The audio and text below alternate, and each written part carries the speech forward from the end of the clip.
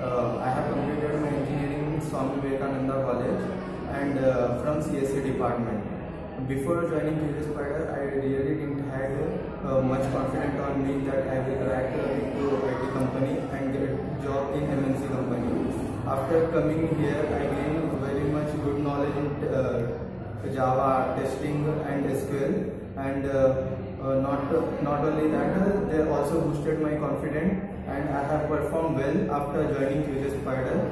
I really want to thank you Prashant sir and Uma sir and whole QJ Spiders management uh, for this.